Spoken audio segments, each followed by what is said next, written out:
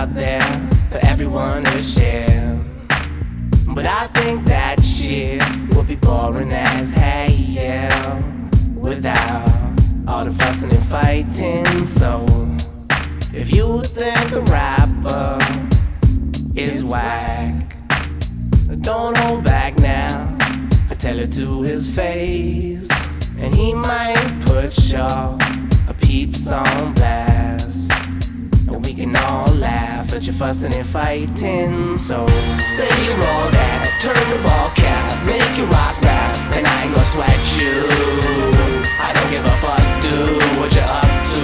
this sweet, Listen it's here, sweet. listen here, What's the new flavor this week? Yeah, it's sweet. listen here, It's sweet. listen here. What's the new flavor this week? Like I said, 32, 32 for a minute. Here's the new beginnings. Y'all need to stop bullshitting. Stool pigeon MCs in Vancouver spitting rhyme. No old school wisdom in them and getting shine from who they dissing. And it's fine when they the only two fools listening. But cool engines you line, I wouldn't mention, but I've seen too many getting sloppy, choosing sides like the Nazis. Wanna be posturing copies, taking turns to rap like it's a star key or a doorknob or a cheap way to seem artsy with your Joe job. But when you freeze up at the parties, I tell you know what, stick to beer and hockey. And it'll seem less cocky when y'all are on about, on about, on about, on about. Say you're all that, turn the ball cap, make it rock rap, and I ain't gonna sweat you.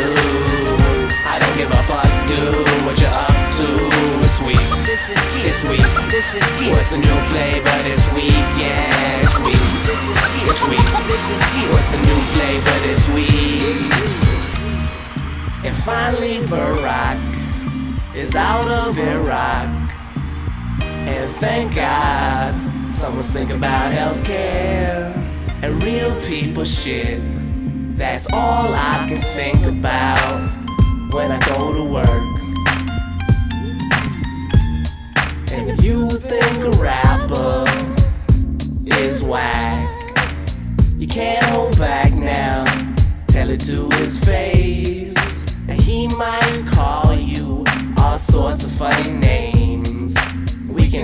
fun and games with the fussing and fighting. So say you're all that, turn the ball cap, make it rock rap, and I ain't gonna sweat you. I don't give a fuck, dude, what you up to? Listen here, it's sweet. listen here, What's the new flavor this week? Yeah, it's sweet. listen here, It's sweet. listen. What's the new flavor this week?